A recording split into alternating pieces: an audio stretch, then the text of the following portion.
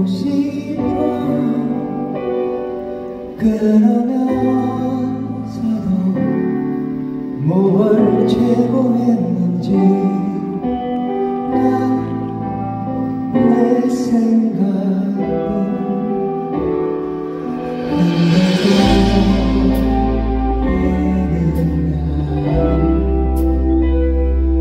붙잡아 줄수 언제나 내게 어려웠던 사람